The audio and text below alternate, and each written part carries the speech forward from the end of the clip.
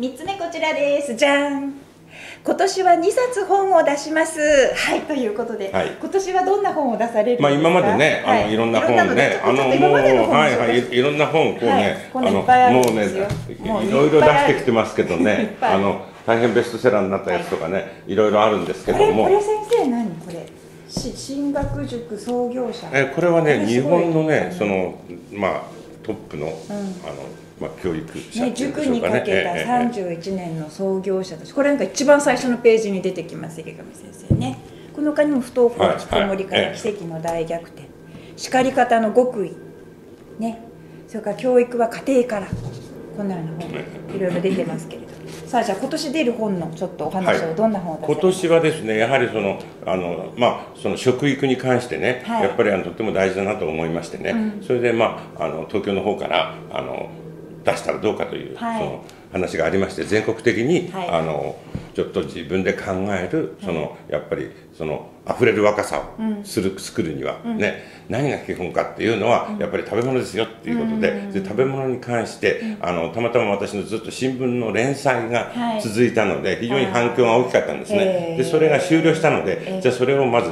一冊本にしましょうということで、あのその本がまあ全国発売にはい。なります。はい。いつ頃出そうなんですあのね、多分11月ぐらいになるんじゃないでしょうかね。秋口でしょうかね。はえい、ご期待いただきたいと思います、もう一つが、はい、そしてもう一つはね、はい。私もそのずっとそのええ英語をね、もう教えてきて、はい。ふっと考えてみるともう数十年も教えてきてて、それで今まで先生本出したらどうですかって言われてたんだけど、はい。一切そっちの方は出したことがなかったんですけどえ英ね語の本って出してなかった。出してないんです。あ意外です、ねもうただラジオで喋ったりとかねそういうことばっかりだったんですね、はい。それでねああそういえばねもう私ももう75歳になりますから。お若いですええ見え。ないねだからねじゃあ皆さんそう言うからね、はい。そしたらそのなんか難しい英語でなくて、読んでて楽しくなるような、その英語のなんていうのこぼれ話っていうのかな、ええまあ、そういうのでどなたが読んでも面白いなっていうのをね、ええ。私のその経験からね、、は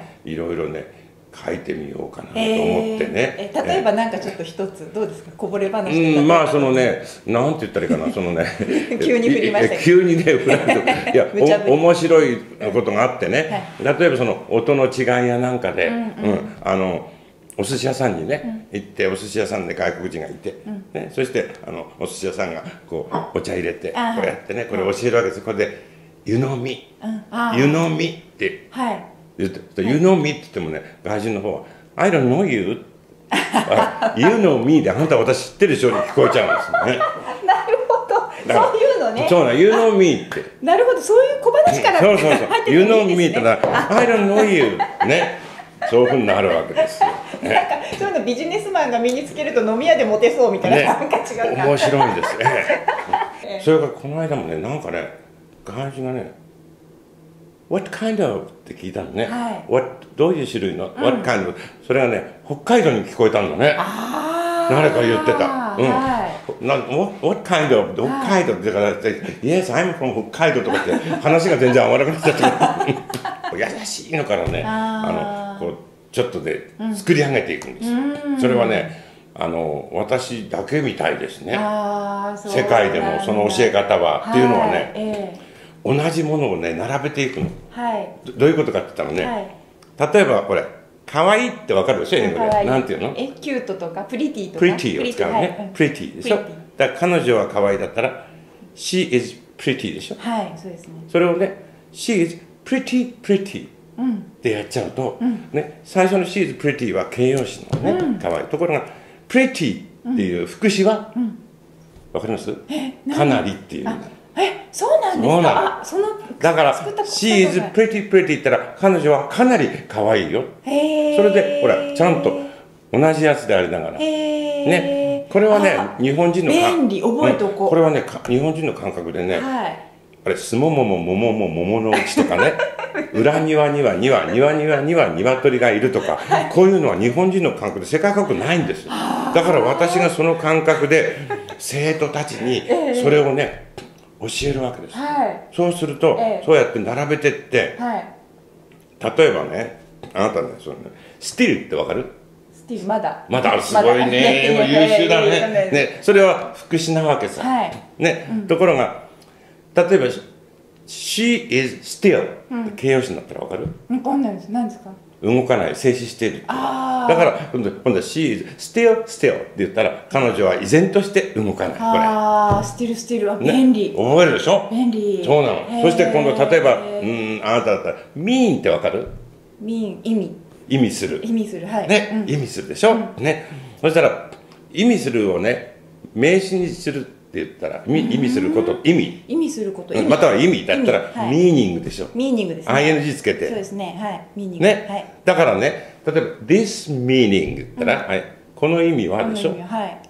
means 意味する。はい。三人称単数の S means、は a mean means なの、は a mean means って言って mean っていうのに S つけてはい。名詞化したらね高校時代かなんか習ったんだけどな、手段って習っ手段ミンミンズ私、ね、ミーンズで手段なのそしてね形容詞で今ミーンミーンズミーンが出てきたの、はい。これが形容詞はね東大受験やなんかの時でも皆さんなかなか分かんない。形容詞なの。このミーンってのはね癒やしいとか卑下したとかそういう意味なの。そしたらこれ This meaning means a mean means だとかって mean mean でこうやるから面白くて覚えられるんですよな勉強したねことないです、それから私それでだからいろんな受験生がみんな喜んですごく覚えやすくて。あね。ー、そうやっていろんな違いをね、はい。やるわけですよ、へー。